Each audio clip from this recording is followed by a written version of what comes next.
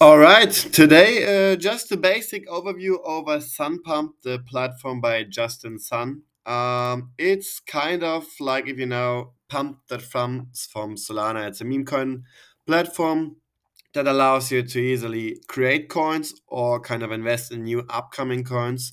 You know, it's it's quite it's quite a similar concept. It's really trending those last two days, especially today. Uh, they are generating even more revenue than Pump.fun, crazy user attraction, crazy uh, volume uh, overall. So there's a, there's a couple of tokens. Let me give you a graph overview. So the most important parts, obviously, is the launch part and uh, your connection to the wallet. First of all, right? This is needed for everything, either if you want to buy it, right, or if you want to launch anything. So you need, first of all need to connect to your wallet. Uh, I would recommend using TronLink, right, as a, as a wallet if you if you have that. Let me quickly refresh. If you have it installed, um, it should uh, allow you to connect to the wallet and pop up like this. Then this window opens up and we confirm that. And we are logged in with TronLink. I really recommend TronLink. Um, it, it's quite a good wallet. It has its own problems, but it's from Tron itself. So, yeah, can highly recommend that. So, uh, let's go through it. If we want to buy some coins, first of all, you know, if you say, oh, I like, you know, this coin Moon, Sunpark or whatever, right? I like this coin. All right, I check the market cap, liquidity, whatever I need to do, right? If it has some trades, it would show here, right? But it does not yet. But if we want to buy, we just input our amount on TRX. Right now, one TRX is like 15 cent, I would guess. Um, so yeah, you just input that amount here and click on trade and then confirm. Same with the sell amount, kind of, right? You can sell if you hold the tokens that you bought earlier uh, to realize some gains, for example, or to yeet out. Um, so yeah, let me show you an example with some trades so that you know how it looks. Here, for example, oh, was not showing, then it just had a big dev buy. I, I just thought it was filled a bit, but this is the dev buy. I will later show you and explain you what it is. Mm, also no trades. Then let me show you. You can also filter for, let me do like, for example, dragon. Dragon is cool.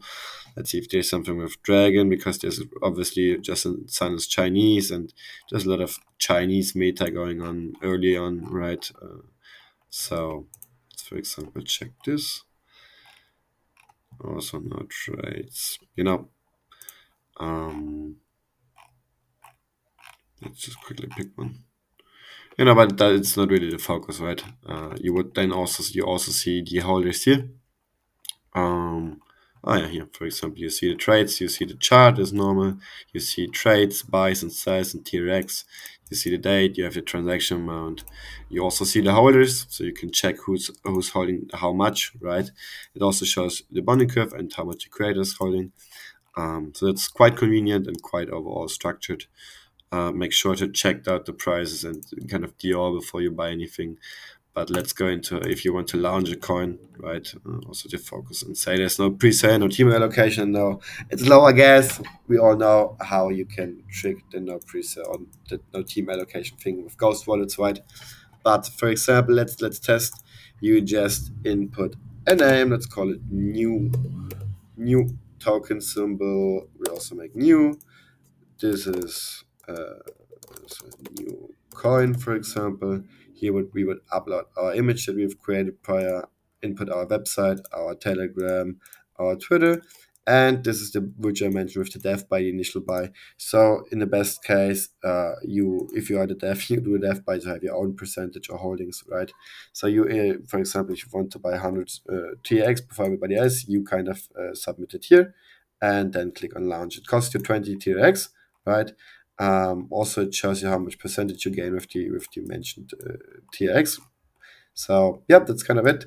I would also recommend going through the docs if you want to get in kind of more in depth, uh, in detailed and depth uh, guide, kind of, and some extra insights if you want, you know, the service fee and some extra fees and details, tokenomics, structure, whatever, right?